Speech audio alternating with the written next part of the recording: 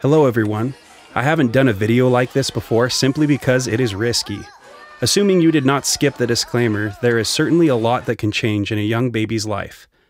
I have had several requests for a video like this because so many parents and caretakers are nervous that their little ones could be autistic. They want intervention and therapy at the soonest time frame possible so that child will have a better chance at living a healthy life with as little frustration in society as possible. The most recent request I received is from a fellow in Italy working on his master's thesis at the University of Bologna. He wanted to learn about any potential signs of autism in ages 0 to 18 months, as well as parent interactions with a child. Such research could help future children with ASD related issues. While I usually give the advice to wait until early toddler years to get an official diagnosis or become concerned, that does not change the fact that people start noticing issues much younger than age 3. Sometimes the signs they notice happen like a light switch, where the child seemed typical and healthy at the first year, then all of a sudden their behaviors change rapidly. For some people, they notice the behaviors have been steadily progressing since infancy Others may not notice anything until later toddler years because babies start out being nonverbal and have many odd or cute behaviors that don't seem strange at the time. The following are five signs of potential autism in babies. They are based on professional research, but also based on our experiences raising three boys who were diagnosed on the autism spectrum. Your mileage may vary, so if something does not apply to your situation, please don't get upset or become alarmed. Also, I will be showing footage primarily of my oldest son, Ian, as he has the most severe case of autism and signs manifest in him much more strongly than the other two boys. However, Connor and Alistair showed similar signs, with Connor showing the least amount. Number one, very late milestone when learning to walk. All of our children took a long time learning to walk. For a typical child, walking occurs anywhere from 9 to 16 months.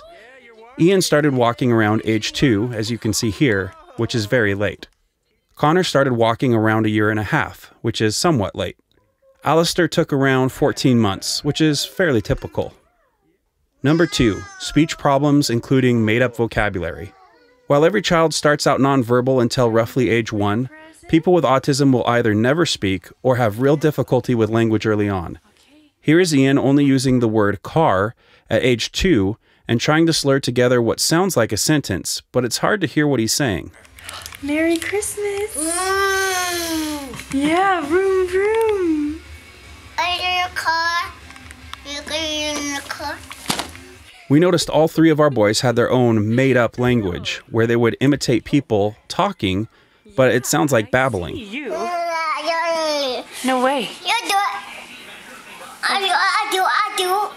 Oh yeah? I do, I do, uh, I do, I do. Oh really? Anything else you have to say?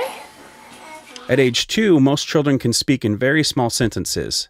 Ian still struggles with speech to this day. Number three, sensory issues over things we take for granted. Sometimes you hear children having issues with clothing tags or loud sounds and bright lights in public settings. But sensory issues can also be sensory craving. Many children with SPD or sensory processing disorder also crave sensory input in the form of constant touching, needing compression hugs, or even biting. Other children on the autism spectrum do not like being touched at all. In this video, you can see Ian constantly bumping into and touching his younger brother Connor, as well as his little friend. It may be easily mistaken for roughhousing, but look at Ian's hands as he keeps making contact. It's as if he's craving touch. He's got to grab.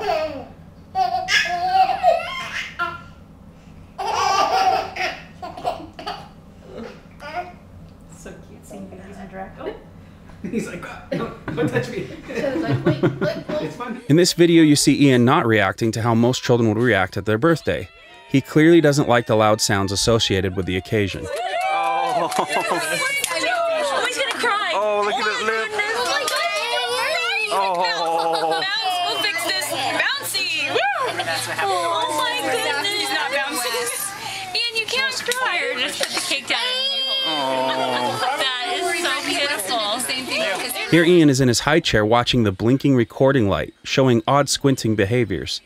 The small light would not bother most children. At the time, we just didn't know he had autism.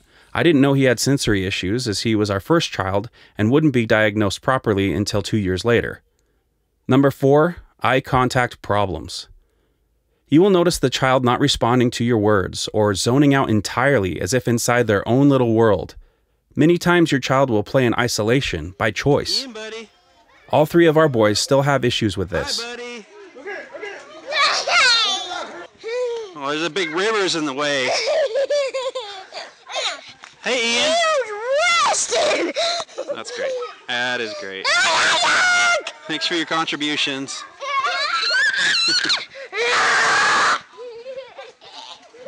Hi, Ian. Hey, buddy. You jump.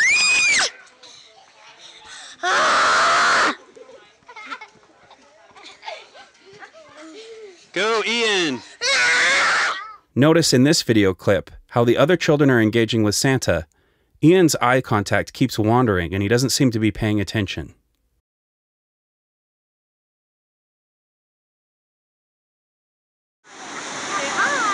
Connor. Hi, bud. Hi. Hey, Connor. Yo, buddy? Yo, buddy? Yeah, sure, buddy. Hey, Connor. Connor. Hi. Ian. You tell me what you want? You tell me what you want? What do you want? What do you want, Ian? What is it? You tired? Ian, look at mommy. Ian. Ian. Ian. See, he doesn't look at me when I talk to him or use his name repeatedly. Ian. And there's oh Connor. Ian, say hi. Ian. Hey, buddy. Hey. Jack. Say hi. Oh, we're in New York right now. Central Park. Number 5. Frequent headbanging.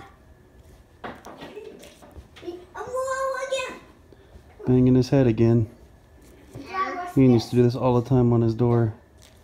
Got me and Brittany worried that he might have some kind of autism, might be on the spectrum. It's hard to say at this age, but I don't think normal babies do that. Maybe I'm wrong.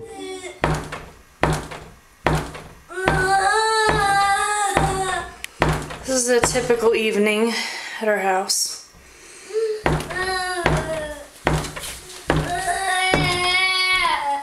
Ian. Sweetie. Headbanging is not the same as rocking like most babies do, where they get on their hands and knees and move back and forth. Similar to our other video about autism signs, this one occurs at a very early age, generally as soon as a child can sit up on their own. Both Alistair and Ian banged their heads on just about every surface they could find, and it took a long time to redirect this behavior, although sometimes they still hit themselves in the head, as you can see from this recent footage of Ian hitting himself with a toy. We appreciate you watching as we strive to help others understand more about autism and as we continue to learn more about autism.